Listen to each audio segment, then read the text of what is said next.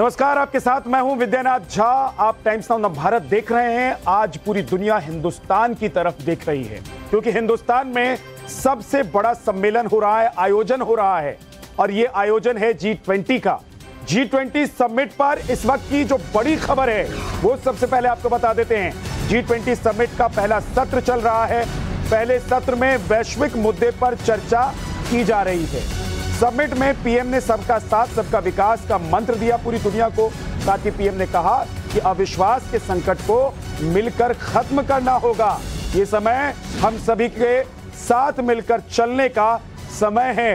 प्रधानमंत्री नरेंद्र मोदी ने याद दिलाया कि कैसे कोरोना के वक्त में पूरी दुनिया हाथ पकड़कर एक दूसरे के साथ आगे बढ़ी थी। ठीक उसी तरीके से अविश्वास के संकट की वजह से जो इस वक्त युद्ध के हालात हैं, उसको खत्म किया जा सकता है। बशर्ते कि इस संकट से बाहर निकला जाए। एक दूसरे पर विश्वास बहाली हो। और ये छह तस्वीरें हम आपको दिखा रहे हैं। देखिए, कनाडा के प्रधानमंत्री हैं, इटली के प्रधानमंत्री, बांग्लादेश के प्रधानमंत्री हैं। और इसके अलावा आप देख रहे हैं कि तमाम अलग अलग राष्ट्रों से, ऑस्ट्रेलिया के प्रधानमंत्री आपको नज़र आ रहे हैं। जी ट्वेंटी समिट का मेगा आयोजन भारत पर बढ़ते विश्वास के भरोसे की एक मज़बूत तस्वीर है। पिछले करीब एक दशक में भारत ने ग्लोबल ऑर्डर में अपनी भूमिका खुद लिखी है। चाहे दुनिया की पांचवी तेज़ी से बढ़ती अर्थव्यवस्था हो या फिर सीमाओं की सुरक्षा, दोनों ही मुद्दे पर भारत पूरे दमखम के साथ खड़ा नज़र आया है और आगे बढ़ता हुआ नज़र आया है। इसके पीछे बड़ी वजह पीएम मोदी का दुनिया से संवेदनशील संवाद और स्पष्ट विदेश नीति, जिसका सूत्र है वासुदेव कुटुंबकम। आज मोदी यही सूत्र दे रहे थे। अब मोदी का यही सूत्र वर्ल्ड ऑर्डर को बदलने का सिद्धांत भी साबित हो रहा है।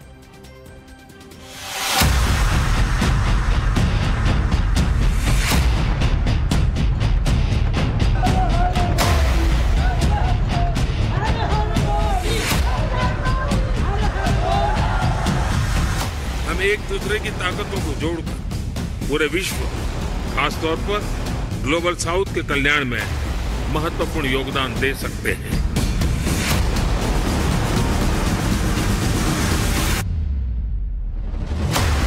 इक्कीसवीं सदी एशिया की सदी है, हम सबकी सदी है। मदर ऑफ़ डेमोक्रेसी है। हम राष्ट्र को भी एक परिवार के रूप में देखते हैं और विश्व को भी एक परिवार मानते हैं। वसुधैव कुटुंबकम सूत्र एक, संकल्प एक, साध एक और साधना एक। वसुधैव कुटुंबकम ये वो मंत्र है जो 2014 के बाद से सैकड़ों बार विश्व के मंचों पर गूंजा है। और बीते करीब नौ वर्षों में पीएम मोदी ने वसुधैव कुटुंबकम के इसी सूत्र से वैश्विक जगत के दिल को जीता है। और आज दुनिया दिल्ली में है और नया भारत मित्र देशों के दिल में बीते एक दशक में भारत ने वर्ल्ड ऑर्डर में अगर अपनी भूमिका बदली है, वो ज़्यादा मुखर, प्रखर और निखर कर सामने आया है तो इसमें अहम भूमिका रही है पीएम मोदी के विजन और वर्जन की। इसमें भारत की अर्थव्यवस्था इंफ्रास्ट्रक्चर आंतरिक सुरक्षा, सीमा सुरक्षा और विदेश नीति सबसे अहम पैरामीटर रहे। हैं जिनकी बुनियाद पर नए भारत की नींव 2014 के बाद से पीएम मोदी ने रखी है। आज भारत में विश्व का तीसरा सबसे बड़ा स्टार्टअप इकोसिस्टम है। भारत में इस समय सौ से भी अधिक यूनिकॉर्न है। आईटी, टेलीकॉम, फिनटेक, एआई और सेमीकंडक्टर्स जैसे क्षेत्रों में हम make in India, make for the world के विजन को आगे बढ़ा रहे हैं। ये चुनावी दावे नहीं हैं, बल्कि वो सच्चाई है जो बीते करीब एक दशक में दुनिया ने देखी है और मानी है। 2014 के पहले और आज के भारत की तस्वीर ही मोदी की गढ़ी तस्वीर है और नए भारत की हर एक उपलब्धियाँ अब दुनिया को चौंकाती है। विश्व बैंक ने अपने जी ट्वेंटी डॉक्यूमेंट में भारत के डिजिटल पब्लिक इंफ्रास्ट्रक्चर, यानी डीपीआई की सराहना की है। इस वैश्विक संस्था ने कहा है कि भारत में डीपीआई का एक परिवर्तनकारी असर पड़ा है, जो फाइनेंशियल इंक्लूजन से भी कहीं आगे की चीज़ है। वर्ल्ड बैंक के दस्तावेज़ में यह भी कहा गया है कि भारत ने केवल छह साल में ऐसे मील के पत्थर हासिल किए हैं, जिसमें करीब पाँच दशक का समय लग सकता था। और तेज गति के ऐसे ही बदलावों ने दुनिया के मंच पर भारत की नई भूमिका और उस भरोसे का नया अध्याय लिखा है, जो अब आर्थिक मंदी से जूझते यूरोप और अमेरिका तक को एक नई उम्मीद के तौर पर दिखता है। मतलब ये कि अगर भारत साथ है तो मुश्किल रास्ते आसान हो सकते हैं।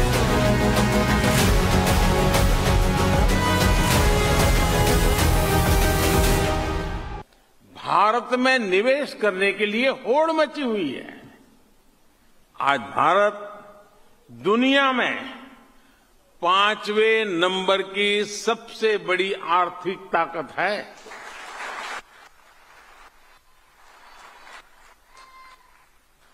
और हर बड़ा एक्सपर्ट कह रहा है कि अगले कुछ साल में भारत टॉप थ्री में होगा।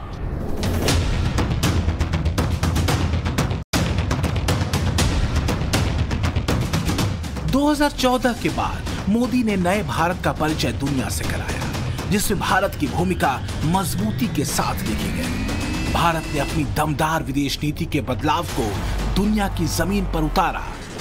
मोदी रेजीम का हिंदुस्तान अपनी शर्तों पर चलता है और पूरी दुनिया को एक परिवार के तौर पर देखता है।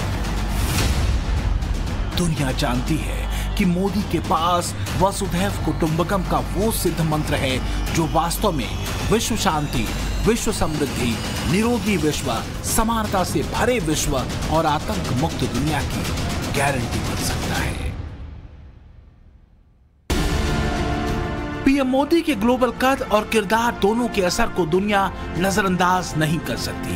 यही वजह है कि चाहे महामारी से लड़ने की बात हो, आर्थिक मंदी से उबारने की बात, या फिर रूस यूक्रेन जंग को खत्म करवाने की बात। अगर दुनिया की उम्मीद किसी तरफ़ दिखती है तो वो पीएम मोदी। है फाइनेंशियल टाइम्स के मुताबिक, ब्रिटेन के प्रधानमंत्री ऋषि सुनक जी ट्वेंटी शिखर सम्मेलन में पीएम मोदी से यूक्रेन पर आक्रमण रोकने के लिए रूस से बात करने का आग्रह करेंगे। इसलिए मोदी की भूमिका को पश्चिमी देश अहम मानते हैं। वहीं पीएम मोदी भी शांति की बात कई बार कह चुके हैं। यूक्रेन के संकट के आरंभ से ही हमने तुरंत युद्ध विराम का आह्वान किया और इस बात पर ज़ोर दिया था कि विवाद को सुलझाने के लिए बातचीत ही एकमात्र उपाय है। दुनिया के मंच पर कैरिज्मेटिक मोदी नए भारत के साथ दुनिया को मिसमराइज कर रहे हैं।